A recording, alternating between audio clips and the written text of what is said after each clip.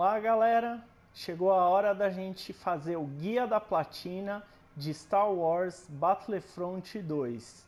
Esse jogo, agora aqui em 2019, tá muito bom, tá muito divertido, apesar de toda a controvérsia que teve no lançamento, aquele lance de microtransações, de você ter que jogar muito para liberar os heróis, esquece. O jogo tá recebendo atualização, tem eventos de XP duplo e às vezes triplos, novos modos de, jo de jogo estão sendo adicionados e tá valendo muito a pena você pegar esse game aqui, pelo preço, pela diversão e pela qualidade.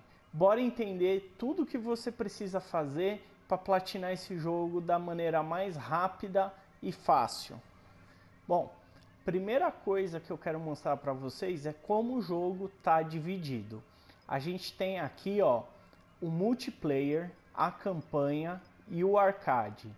Na campanha, a gente tem a história principal e tem aqui a DLC Ressurreição. Importante lembrar que essa DLC é gratuita, não precisa se preocupar.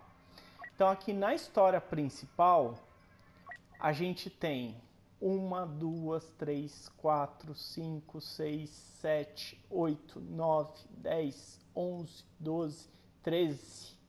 Treze missões na campanha principal. Alguma dessas missões vocês podem reparar nessas bolinhas brancas, elas têm coletáveis. Preciso pegar todos eles para desbloquear algum troféu? Não, não se preocupe. É só você jogar a campanha Cada uma dessas missões tem um troféu e alguma dessas missões a gente consegue abrir alguns troféus específicos que eu já vou falar mais para frente. Na DLC Ressurreição, o que, que a gente tem?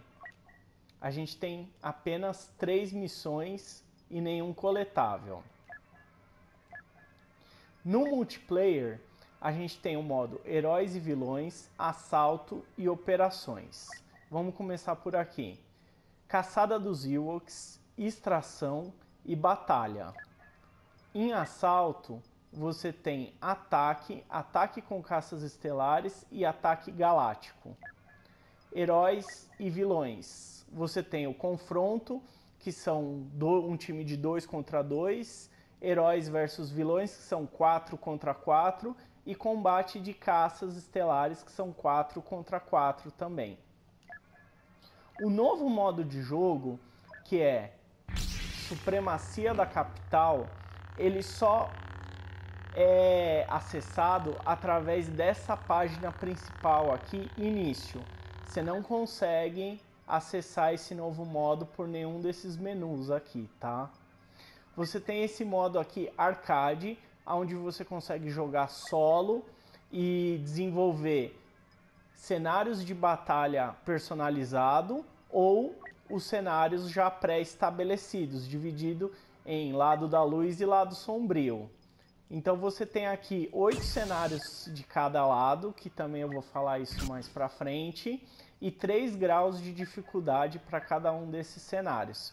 No personalizado você pode fazer o que você quiser com os modificadores e aqui você tem um tutorialzinho básico.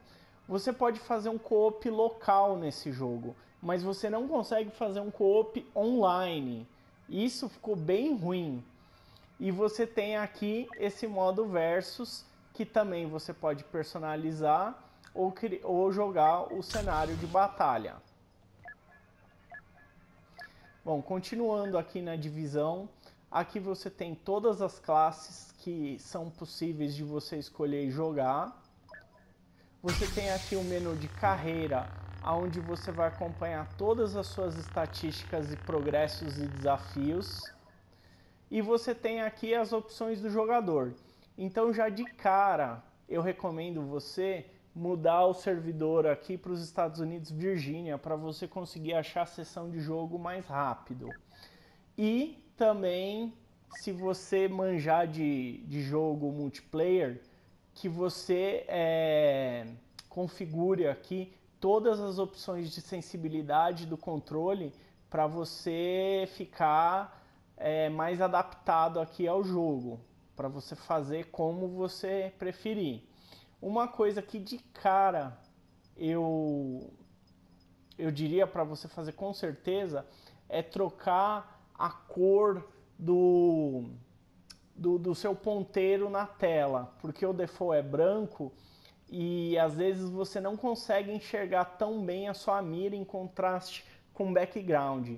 Então eu, eu sugiro que você coloque uma outra cor, eu coloquei a cor verde. Só para deixar claro, aqui no menu jogo é onde você muda a cor da sua mira, ó. Então tá aqui, ó, verde.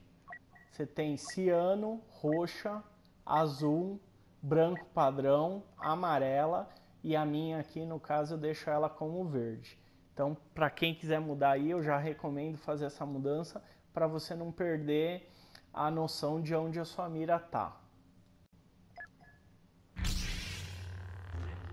De resto, aqui você tem uh, uma caixa diária que você consegue abrir ela todo dia e ganhar 500 créditos.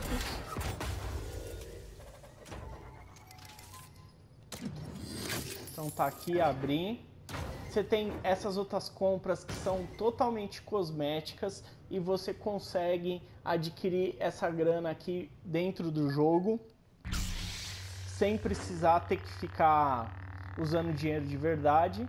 E aqui você tem os desafios diários que você pode fazer para conseguir mais dinheiro aqui no jogo.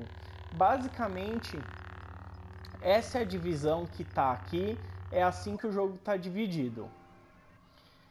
Começando aqui pelo modo campanha, cada missão que você concluir, você já vai ganhar um troféu automaticamente. Só que fora esses troféus das missões, vocês têm quatro troféus que devem ser feitos aqui no modo campanha. Então vamos dar uma olhadinha em cada um deles, já lembrando que todos os troféus têm vídeo aqui no canal com todas as explicações à parte para você focar no que você precisar. Aqui vai ser só um geralzão para você entender o que você precisa para platina. Então aqui no modo campanha, na história principal, na missão 1, muito provavelmente você vai pegar o troféu Forças Sinistras sem querer.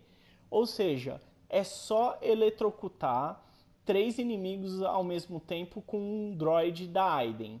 Então é bem tranquilo, bem fácil.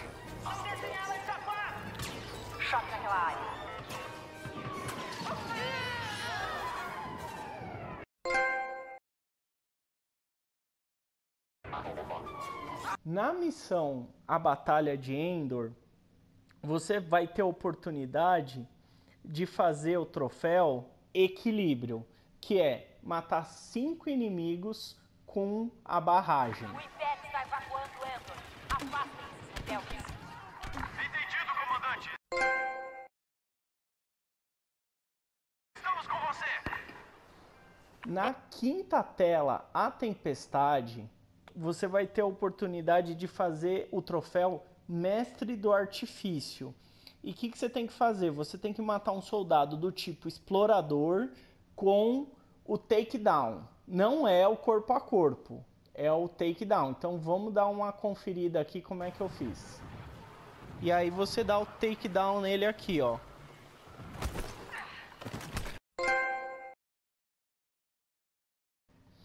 E por último, na 11 missão, a Batalha de Jakku, você vai ter a oportunidade de fazer o troféu X-Wing versus Caça-Tai, que é destruir oito naves, oito caças Tai nessa, nessa fase. Então, esse eu acho que é o único troféu que só dá para fazer especificamente aqui, porque só aqui você vai dirigir a nave. Não, não, acho que eu estou falando bobagem. Acho que tem outra, outras missões que você também dirige, mas tem que ser no céu de Jakku. Então aqui é só você não ir para o objetivo e ficar destruindo os caças lá. Vamos dar uma conferida. Legal.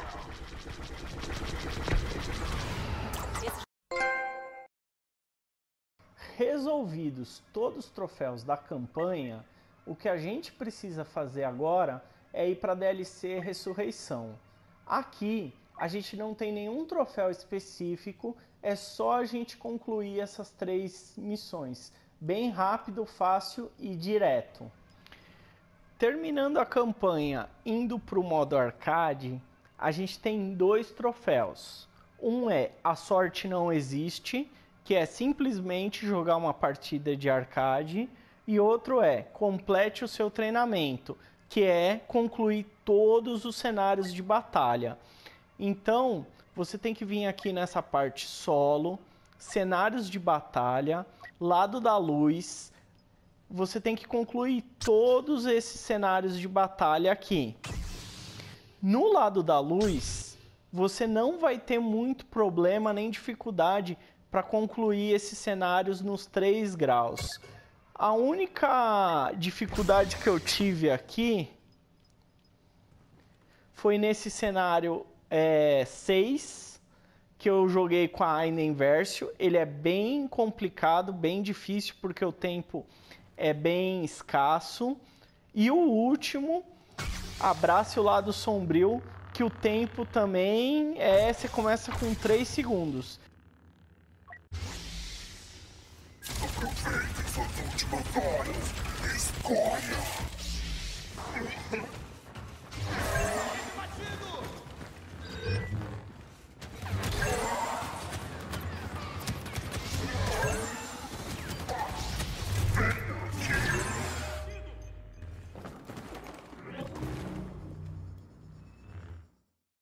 Então aqui no canal a gente tem o um vídeo de cada modo de batalha e se você precisar de ajuda, acredito eu que só nesses dois cenários, dê uma olhada aqui no canal, você vai conseguir entender como fazer para conseguir é, concluir esses, esses cenários de uma maneira bem tranquila. Então o arcade é basicamente isso e a gente está aqui numa parte que é entendendo como o jogo funciona, a campanha e fazendo o arcade. Vamos para o multiplayer. Eu vou falar é, orientado às classes e depois no final vou falar todos os troféus é, de miscelânea do multiplayer. Então, aqui na coleção Vamos começar com as quatro classes básicas que a gente tem: assalto, pesado, oficial e especialista. Você vai ter um troféu específico da classe assalto que é nem todos erram, que é cinco vezes você tem que matar três inimigos com a mesma vanguarda. Aí eu fui seguindo o mapa. Olha só, detalhe, hein? Olha o que, que eu fiz atirei o dardo nesse momento, atirei uma toxina atrás do carregamento e aí dei de cara com o inimigo. Matei esse inimigo, o outro morreu agora pela toxina e eu tive um pouco de paciência porque eu sabia que ia aparecer alguém correndo aqui, ó. E aí no finalzinho do tempo da vanguarda eu consegui o troféu. Então é isso aí. No pesado, você tem o troféu modo sentinela ativado, que é matar 100 inimigos com o modo sentinela.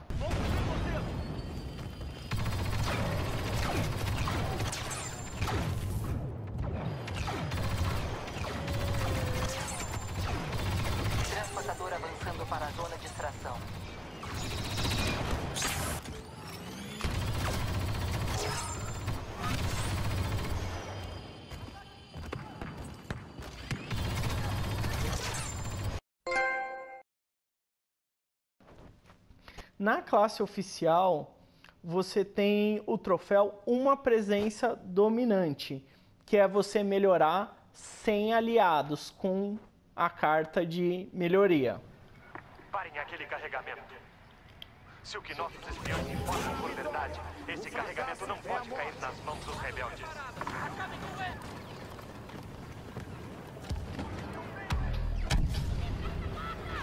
Pelo Império! Pelo Imperador!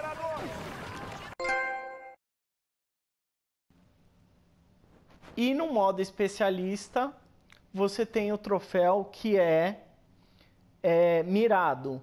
Você tem que acertar 25 tiros na cabeça. O carregamento está avançando de novo.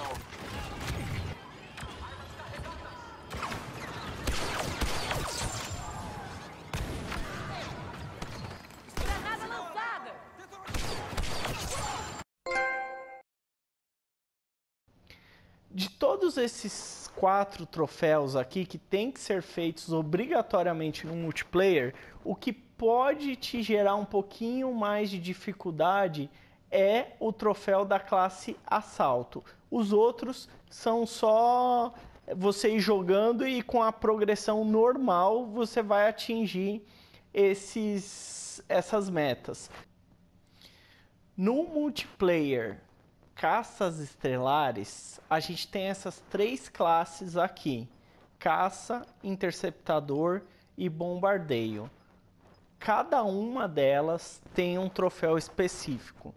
No caso do caça, a gente tem o troféu multitarefa, que é des destruir 25 naves de heróis.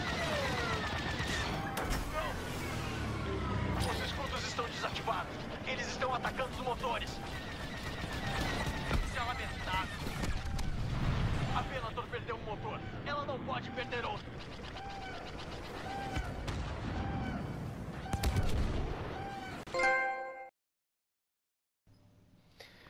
No interceptador, a gente tem o troféu que chama o interceptador, que significa fazer 20 sequências de kills. Não é matar 20 naves seguidas. Toda vez que você mata mais de uma nave, você começa uma sequência. Então você tem que começar uma sequência 20 vezes. Ou seja, se você matar dois inimigos 20 vezes, o troféu pipoca. Se você matar mais que dois, aí a conta já melhora um pouquinho, não fica essas 20 vezes.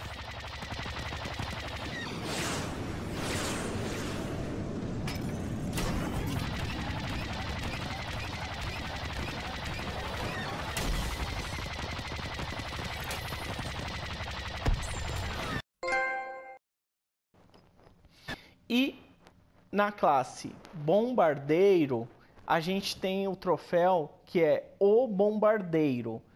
A gente tem que matar 50 inimigos usando os torpedos de prótons duplos. Essa kill aqui foi legal porque eu peguei a IA bem de longe e aí não tinha ninguém por perto. Então eu me certifiquei que ela ia ficar com muito pouca vida pro meu próton matar ela. Inclusive eu dei tiro de laser depois, ó, que eu lancei o torpedo, só pra garantir.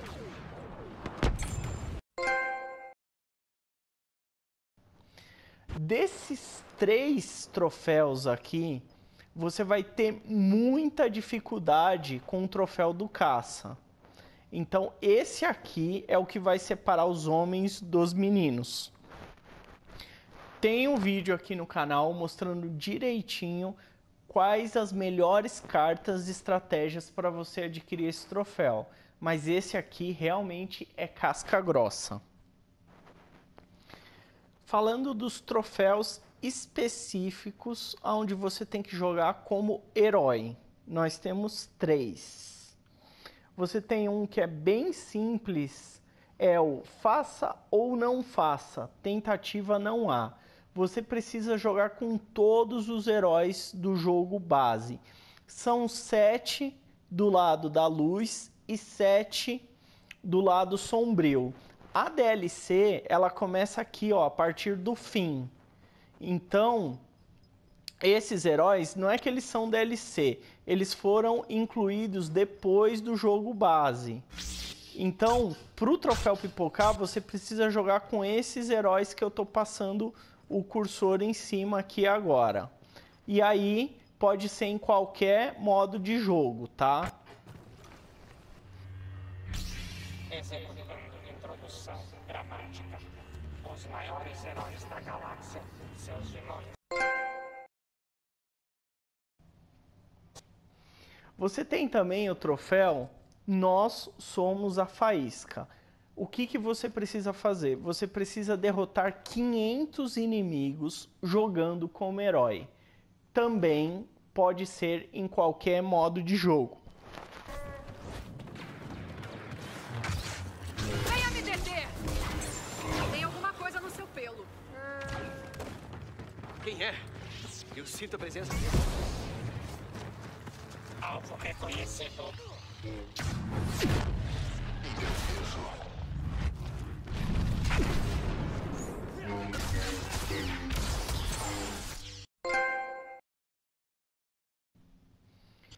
E por último, a gente tem o segundo troféu que pode complicar sua vida nessa platina, que é o troféu Escolha o seu caminho. O que, que você precisa fazer? No modo de jogo, heróis contra vilões, e só nesse modo de jogo você vai conseguir fazer esse troféu. Você precisa, enquanto você for o alvo, você matar o alvo do outro time 50 vezes.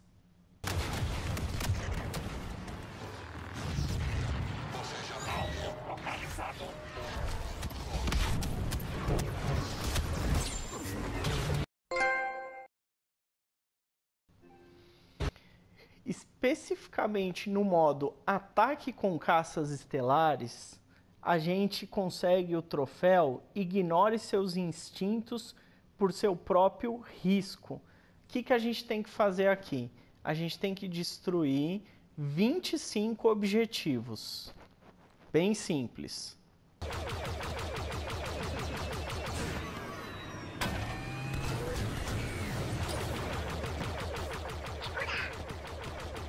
Ameaça crítica detectada. Naves de combate inimigas se aproximando. Classe Venator. Só resta um cruzador da República.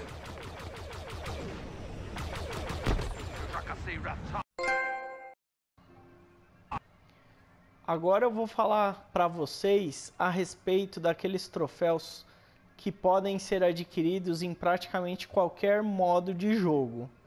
O primeiro é ataque rápido. Você precisa ser o primeiro player a matar um inimigo em qualquer partida multiplayer. Parem aquele carregamento. Se o que nossos espiões informam for verdade, esse carregamento não pode cair nas mãos dos rebeldes.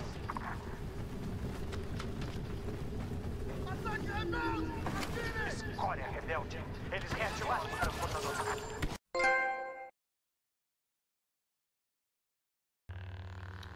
Troféu Um Bom Trabalho. Você precisa conseguir 25 desafios em qualquer uma dessas categorias aqui: multiplayer, soldados, heróis e caças estelares. Bem simples.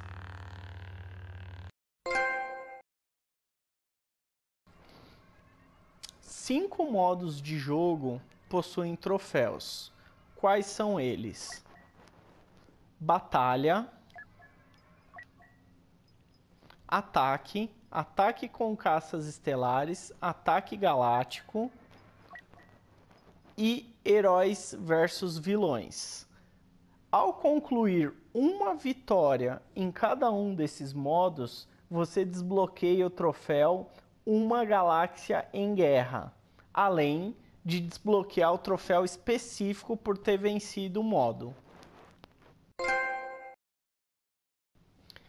Para finalizar uh, a sua busca pela platina, você vai ter o terceiro troféu que vai te complicar um pouquinho na questão do tempo. Então, assim, você tem um troféu por chegar ao rank 25, que é Houve um Despertar, e você tem um troféu que é A Força é Poderosa nele, que é chegar no rank 50. O que, que eu recomendo para você conseguir é, ganhar esses troféus de rank mais rápido? Primeira coisa é o seguinte: esquece matar inimigo. Faça, jogue pelos objetivos e upe o mais rápido possível a carta Caçador de Recompensas. Isso vai te ajudar muito a ganhar bastante ponto, subir de nível e ficar melhor no jogo. Outra coisa, qual é o modo de jogo que está me dando mais XP, que mais rende o tempo versus a recompensa? No meu caso, foi jogar heróis versus vilões. Também estou conseguindo muita pontuação no Supremacia da Capital, mas leva um baita tempo a partida. Aqui você consegue partidas de 10, 15 minutos e você consegue um, um bom, uma boa recompensa de XP. Então aqui ó, é uma partida de extração, uma das partidas que eu mais matei deve ter demorado uns 20, 25 minutos. Fiquei em terceiro e fiz cerca de 21 mil pontos.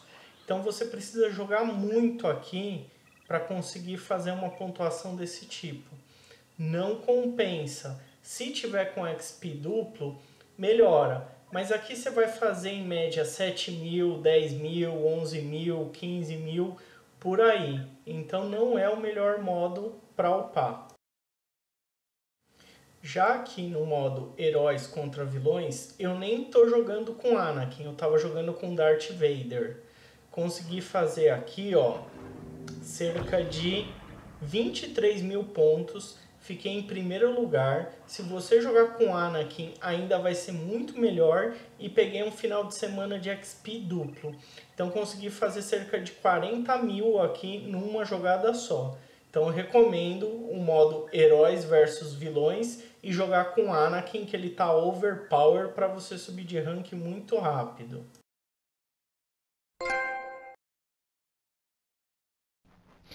Outra coisa também é aproveite os eventos semanais de XP duplo e triplo. Eu disse semanais, mas uh, às vezes são mensais você tem que entrar no site ver qual é o final de semana. O jogo avisa e ele também marca que você está com um bônus de XP. De, dessa maneira você vai conseguir subir rapidamente de nível sem precisar ficar com a sua platina travada porque falta chegar no rank 50. Não tem nenhum bug de troféu, todos eles foram corrigidos.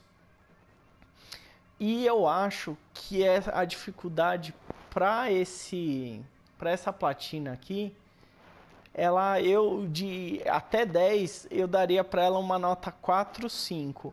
Eu acho que um tempo razoável para você fazer sem pressa é um mês. Se você fizer correndo, você consegue essa platina em 15 dias, mas jogando muito.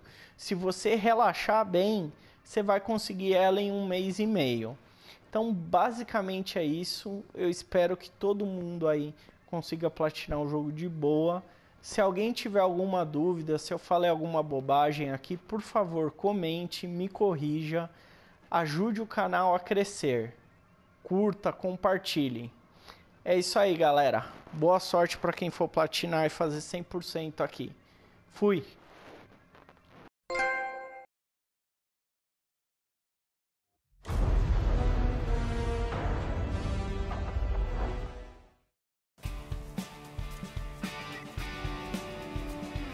Então é isso aí, galera. Vou ficando por aqui. Ajude o canal a crescer. Curta, compartilhe, comente, inscreva-se. Fui!